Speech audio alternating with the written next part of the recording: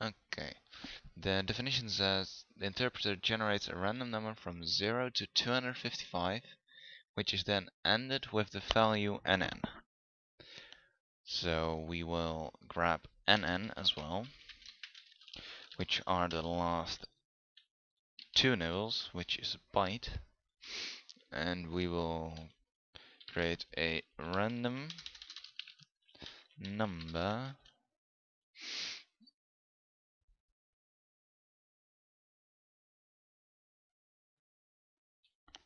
to a new random dot next int 256 as the last integer which we type in is excluded.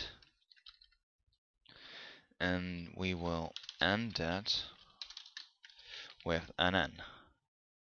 So we will type uh, we'll notify the user vx has been set to randomized random number and we will actually do that random number and we'll increment program counter by 2 and we'll need to cast it to HR so here we go setting uh, where did it go so quickly? Randomized 23 and it came from 1623 so in this case the random number was the same as the ending. So the next code is E which is a multi uh, code with only two codes, so that's not all that much. And we'll switch on the opcode and the um,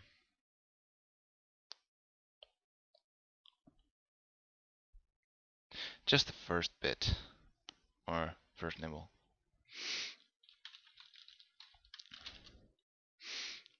and we got two cases, one which equals uh, 9e and a1 and otherwise it will be an unexisting operation and will crash the program.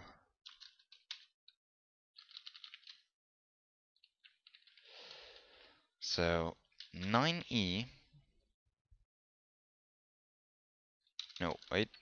We didn't encounter that one. So 9e and A1 are very, very similar. They both say EX 9e and EX A1.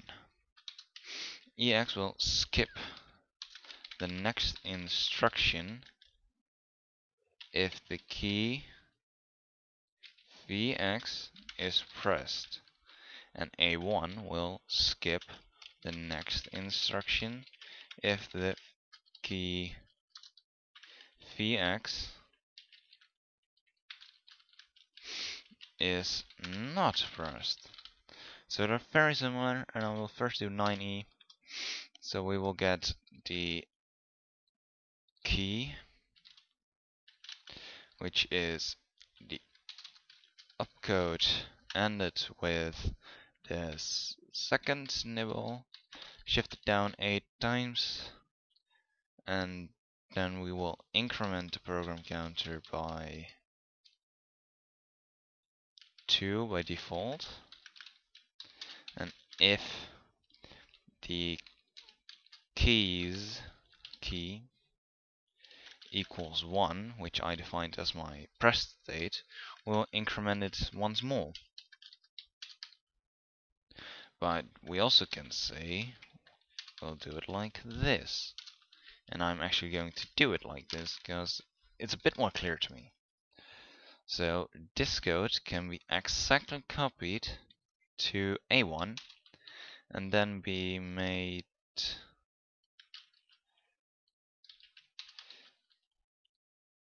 as doesn't equal 1 or equals 0. I will use 0. Yeah, I'll use 0. And let's have a look at the next key, but I think that game actually might Oh, wait. The last two nope, nibbles. And actually the game might...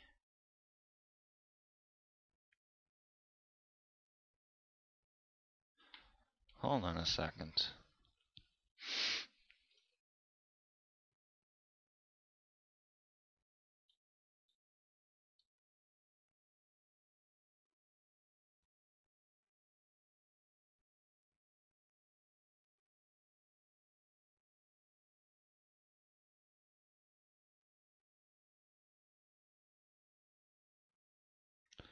Did I forget something? Ah, yes, I did. Break. As it did, does exist, so. There we go, and then we head into the 8 block, which is another quite big block, so we will do that next week. So I will see you guys next week. See ya. Hello and welcome back to part 7 of how make your own emulator. We will just continue on programming the operations and I will quickly grab the operation table and there we go. Part 7 and the first one is opcode 8. So it's a switch and we got 8B02 and if I look at the table they all format with the first nibble and the last nibble. So the last nibble is being checked. So this is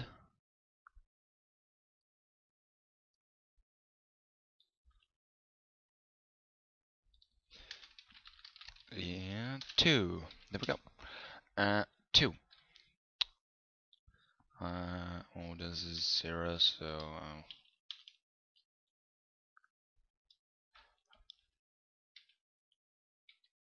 I will just replace it because it's a bit annoying. 2 is Z's Vx to Vi ended with V1 so it's Vx to Vx ended with Vi. So this basically means that our Vx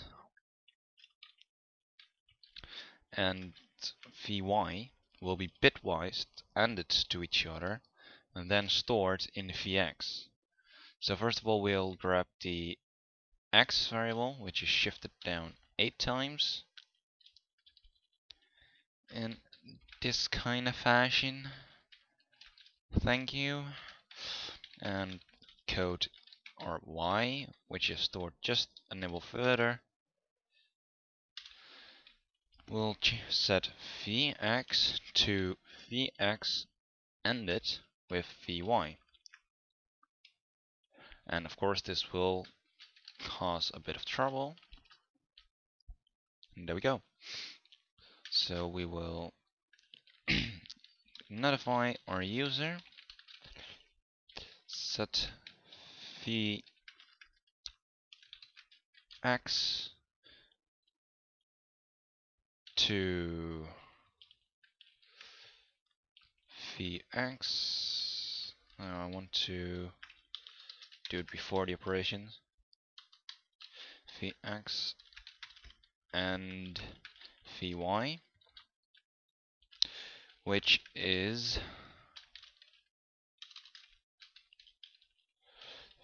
vx ended with vy. Now, th the single end, like this, is constantly the bitwise adding. We've handled quite some time with it, so I'm not going to explain it at all again. So, well, wow, it looks gorgeous. So let's increment the program counter and let's cast some stuff to int. So it's actually readable. So this one was 12 and 31 which resulted well this is a different one but b ah same thing. So we the next code is 8.4 so we'll add a case 4 which is adds phi y to phi x and the carry flag phi f is set to 1 when carry applies. So I gotta explain a bit what carry is. The chip 8 stores their data in bytes. The byte means it only can store 256 values. If the value becomes larger than 256 or 255, it will uh, subtract 255 because it cannot store those. And in this case, we should also add, or when that happens, we should set the carry flag. And we should also set it to zero if it doesn't happen. So it's a bit tricky, but we can do it. We'll first grab x and y again, which I am a bit bothered to do, so I will just copy paste it. There we go. And we will uh, print instantly adding phi x to phi uh, to phi y apply apply carry if needed. So we can do this basic counting in our head because not a big deal. So now the tricky part comes because we need to check if phi y and phi x equals larger than 255. We can do it sneaky like this but do we really want to? I don't think so. So if we want to apply the carry, then um, phi if phi y is larger than 255 minus phi x then we set the carry flag to 1, else we set it to 0. What this basically does is it will subtract uh, Vx from 255. If Vy is larger than that, it will actually be larger than 255 and or carry will apply. And because I'm a lazy bastard, I will do this on the calculation because this will never overflow. And that also makes me happy. Yay! So this basically uh, will Vx to Vy and then bitwise end it with 255 so if it's larger it will dro drop down to the correct value And actually, I'm going to add it to the code because it's maybe still a bit too complicated to do out of your head.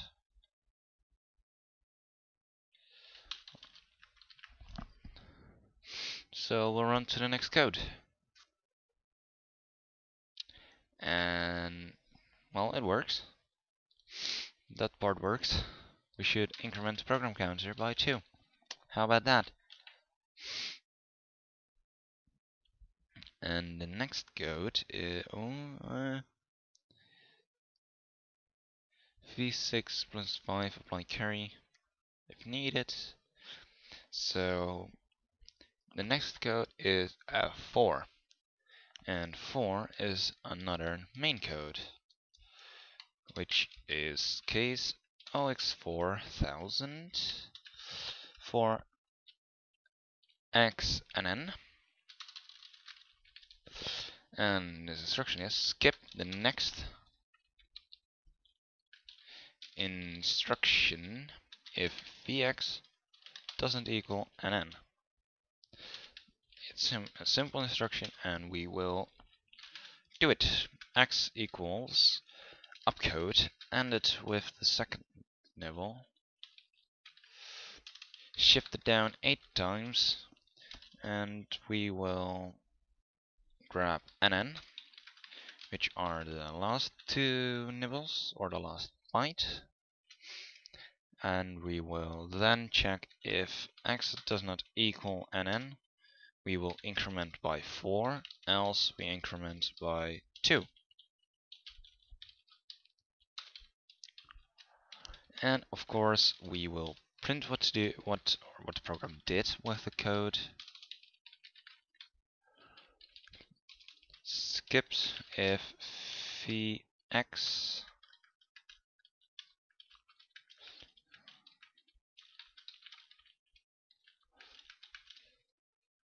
doesn't equal and then skip next. Instruct instruction if. So and actually our game has become a bit playable so let me figure out what the controls were.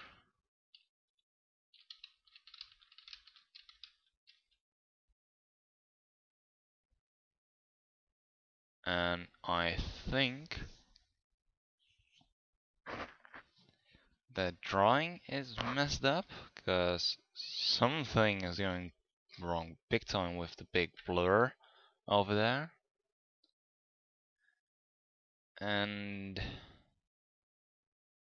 the uh, ball is not moving and I have no idea which buttons I need to press.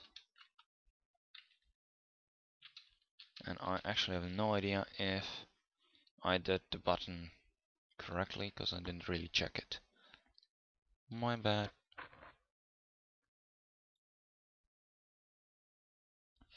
My keyboard controller never works because I didn't add the key listener.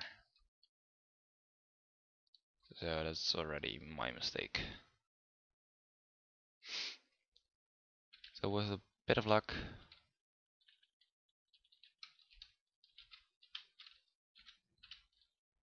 it might work but it doesn't.